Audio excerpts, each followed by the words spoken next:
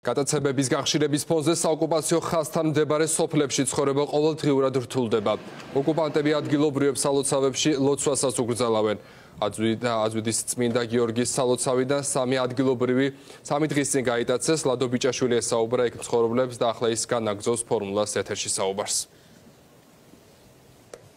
დიახ გიორგი ადგილობრივებისთვის საშიში არა მხოლოდ წმინდა გიორგის სახელობის სალოცავში მისვლა და მოლოცვა არამედ ღვთისმშობლის შობის და სალოცავშიც როგორც ადგილობრივები საუბრობენ საოკუპაციო ძალები ჩასაფრებულები არიან სალოცავების მიმდებარე ტერიტორიაზე და ადგილობრივებს სწორედ ლოცვას უშლიან ერთმორწმუნე ოკუპანტები მიუხედავად გართულებული მდგომარეობისა ხალხი ამბობს ადგილზე მცხოვრებლები რომ ისინი მაინც არ აპირებენ საცხოვრებელ საუბრებელი სახლების დატოვებას და აყრას ადგილებიდან ჩვენ შეგვიძლია მოვისმინოთ ახლა თუ რა საცხადებენ აცში მცხოვრებლები მას შემდეგ რაც ოკუპანტებმა სამი ადგილობრივი დააკავეს და ცხინვალის ციხეში გადაიყვანეს. ეს ტერიტორია იმათი იყო ეს არის აი ახლა იჩეებები თორე საერთოდ ჩვენი იყო ეს ტერიტორია ყველაფერი ჩვენი იყო მაგრამ არ გუშვენ რა. რამდენი ხანია უკვე 2008 წლიდან ყოველ დღესაც აუდიჭერენ ჩვენ ხალხს ხო.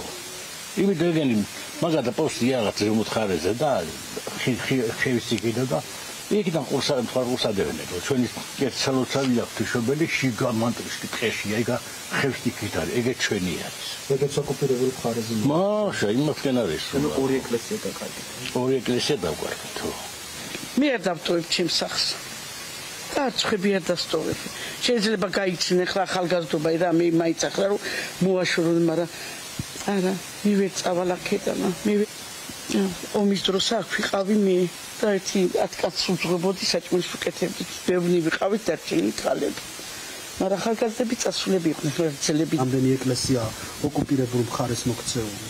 ღვთისმშობელი და წმინდა გიორგი. ამდენი ხანია რაც ვიყარა რაც ომი ომის მერე აღარ ავსულოთ.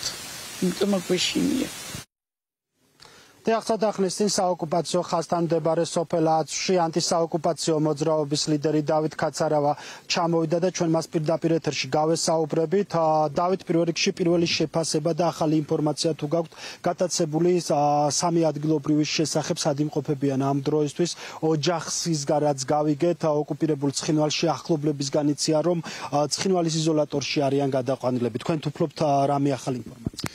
დიახ, მოგესალმებით. ნუ ეს არის უკვე მორიგი გამოვლინება იმ აგრესიის, რასაც რუსები ავლენენ, ერთმორწმუნე რუსეთის სახე კი ზუსტად ის არის, რომ რუსები იყენებენ წმინდა ადგილებს იმისთვის, რომ მოხდეს ჩვენი მოქალაქეების გატაცება, მათი დატერორება, მათი დაშინება, მათი მიზანი. სინამდვილეში არის ის, რომ საბოლოო ჯამში ეს სოფლები დაცარიელდეს და აი ამ შიშის გამო მოსახლეობა წავიდეს აქედან მხრიდან ეს ყველაფერი ემსახურება სოციალური ოკუპაციის პროცესს, რომელიც რომელიც თუ რაიმე ეფექტური ღონისძიება და ზოგადი ხედვა არ შეიცვალა და არ გატარდა ეს ღონისძიებები ამ სოფლებში, ჩვენ დღეს მივიღებთ იმას, რომ რუსული საოკუპაციო ძალები კიდევ უფრო წინ გადმოიწევენ. რაც შეეხება გატაცებულ მოქალაქეებს, დიახ, ისინი ცხინვალის იზოლატორში იმყოფებიან და ველოდებით ახლა ეგრეთ წოდებულ აი შოუს, რასაც ისინი სასამართლოს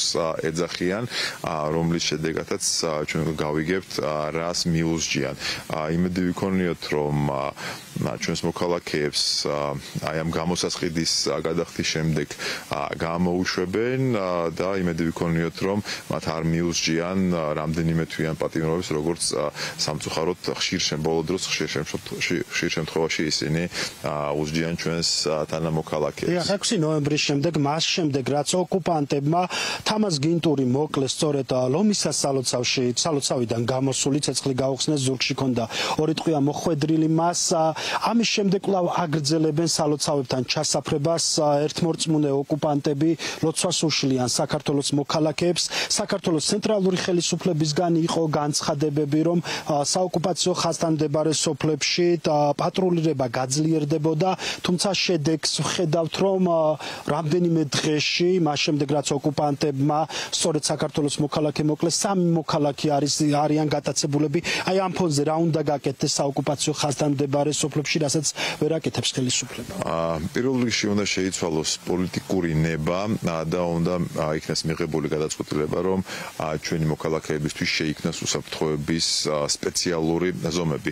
აი თუნდაც ისეთი როგორც ახლა არის კირბალში. მე შეგახსენებთ, რომ ახლა კირბალში მუდმივ რეჟიმში ფაქტობრივი პოსტი არის გაკეთებული, რომელიც აკონტროლებს სიტუაციას ოკუპაციის ხასთან და იქ მერწმუნეთ, რომ ამ წუთას აი ამ მოცემულობაში გატაცება ფაქტობრივად შეუძლებელია. ოკუპანტი ვერაფერს ვერ გააკეთებს. იგივე უნდა გააკეთდეს სხვა სოფლებში. სამწუხაროდ სამწუხაროდ ეს ზომა უსაფრთხოების მიღებული არის მხოლოდ კირბალში, აი აქ აზში იგივე სიტუაცია გვაქვს, რაც იყო თუნდაც 6 ნოემბრამდე ან 2 თვის წინ ან 1 წლის წინ.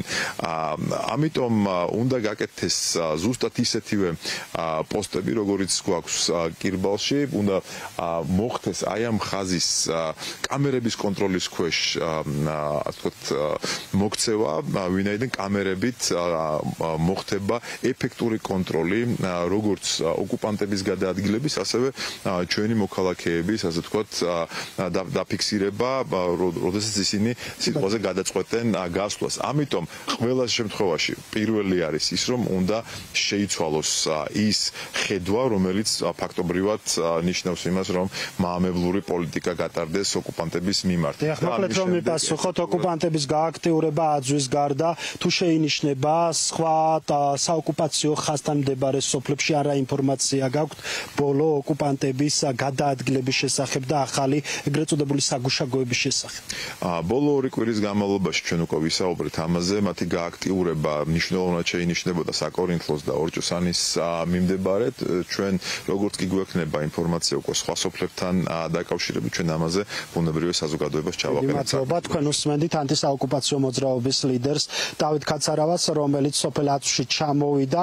აძვიდან 3 დღის წინ გიორგობის დღესასწაულზე გაიტაცეს სამი ადგილობრივები, ისინი ჯერ აძვის თავში მდებარე რუსულ სამხედრო ბაზაზე გადაიყვანეს და ახლა ჩვენი ინფორმაციით და ოჯახიც გვიდასტურებს, რომ ისინი ყავთ ცხინვალის იზოლატორში გადაყვანილი, სავარაუდოდ ორშაბათს გამართება მათი ეგრეთ წოდებული სასამართლო პროცესი ოკუპირებული ცხინვალის ეგრეთ წოდებულ სასამართლოში. ოჯახები ელოდებიან სამშაბათს უკვე სამივე დაკავებულის გათავისუფლებას, თუმცა ეს არის მათი მოლოდინი ამ ინფორმაციას არ ავრცელებს არც საოკუპაციო რეჟიმი და მით უფრო არც არც უფრო მით უფრო არც საქართველოს ცენტრალური ხელისუფლება